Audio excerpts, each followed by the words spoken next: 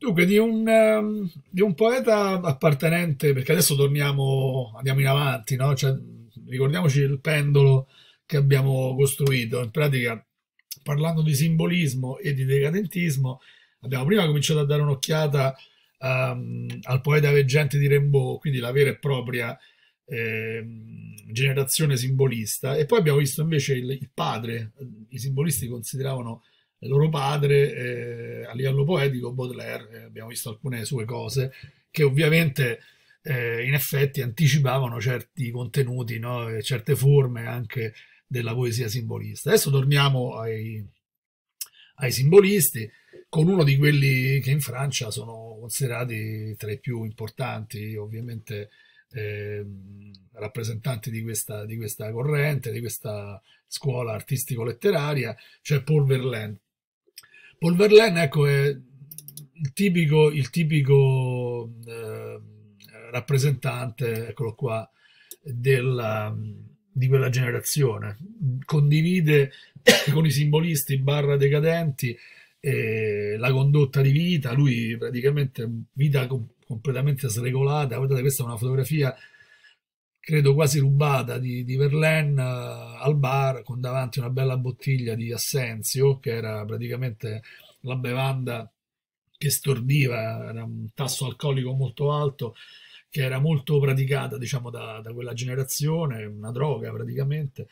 E benché, benché lui faccia un tentativo di rientrare nella normalità, tra virgolette, sposa una donna, una, un matrimonio assolutamente infelice e nel frattempo continua a bere, a, a avere comportamenti completamente trasgressivi spesso ha a che fare anche con la giustizia per i suoi comportamenti e poi non so se vi ricordate quando parlavamo di Rimbaud la, la loro, la loro eh, il loro rapporto sentimentale. No? Lui praticamente ha circa 30 anni e Rimbaud, eccolo qua, una fotografia dei due, questa è Verlaine.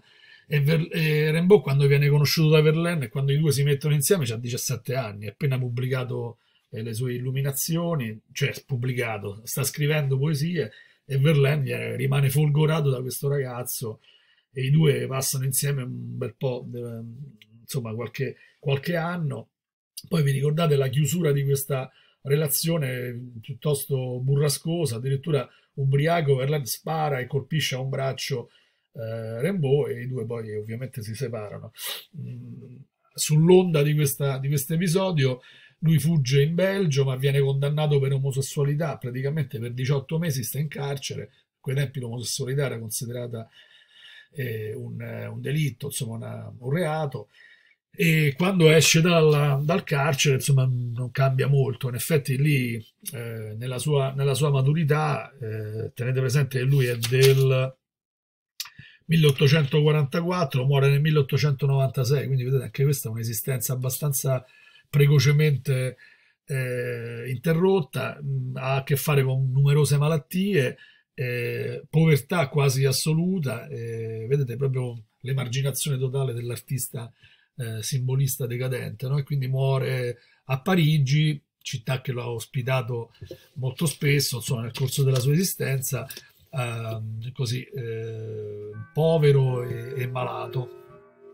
E il, forse una delle sue poesie più importanti e anche delle più note è questa, la canzone d'autunno, che ci fa respirare forse un aspetto no? eh, del, simbolismo barra decadentismo che non abbiamo ancora mai incontrato dal punto di vista eh, pratico, come esperienza di lettura, ma che avevamo in qualche modo eh, così anticipato quando parlammo di, di, questa corrente di pensiero, di, artistica in generale, cioè il senso di decadenza, il senso di morte che sta per arrivare, il senso insomma della, di qualcosa che sta finendo, appunto decadentismo, no? E Canzone d'autunno, leggiamola e poi cerchiamo di vedere se è vero che ci restituisce questo aspetto, no? anche un, ennesimo aspetto di questa, di questa corrente che abbiamo chiamato simbolismo decadentismo. I singhiozzi lunghi dei violini d'autunno mi feriscono il cuore con languore monotono, ansimante e smorto, quando, l'ora rintocca, io mi ricordo dei giorni antichi e piango e me ne vado nel vento ostile che mi trascina di qua e di là come la foglia morta. Qui c'è anche l'aspetto, sai, la versione originale, che se volete apprezzarne il suono, perché insomma il suono in questa, eh, ovviamente in francese, è, molto importante, no? Come è importante l'aspetto fonico delle poesie, comincia a essere importante eh, nella poesia simbolista.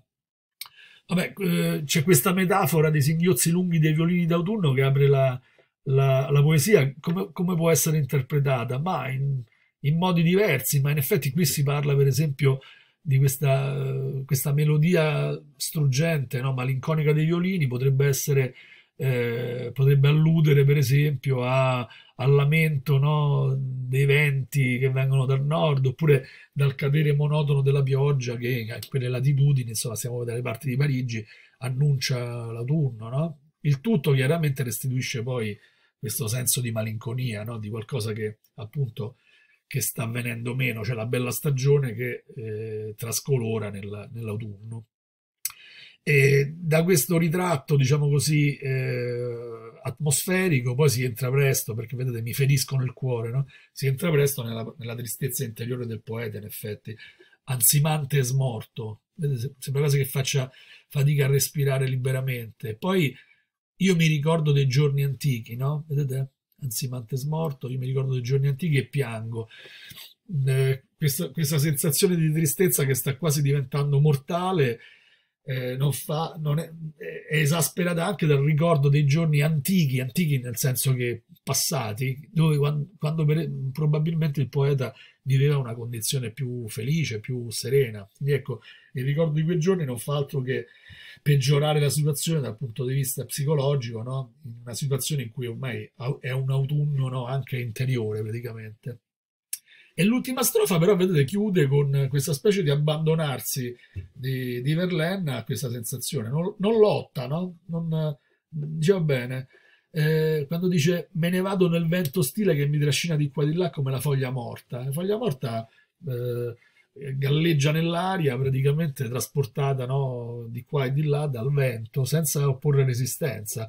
Appunto, vedete, qui si parla utilizzando un termine un po' difficile di reificazione del poeta, cioè il poeta diventa quasi una cosa, cioè una trasformazione in un oggetto inerte, in balia del vento ostile, cioè senza, senza che lui faccia punti piedi per fermarsi, no? Quindi indifferenza, dice, vabbè, vedete il decadentismo, no? questo languore della fine che, a cui non ci si oppone, no? Dice, vabbè, sto andando via, sto, sto morendo, sto venendo meno, diciamo così, no? E, diciamo questo è, potrebbe anche essere, se volessimo alzare un po' il livello, ma non so se Verlaine sarebbe contento, no? eh, la precarietà della condizione umana, cioè il fatto che non è soltanto Verlaine che si sente così, ma tutti noi siamo, siamo in qualche modo legati alle bizzarrie del vento che ci, che ci eh, sbadacchia, diciamo così.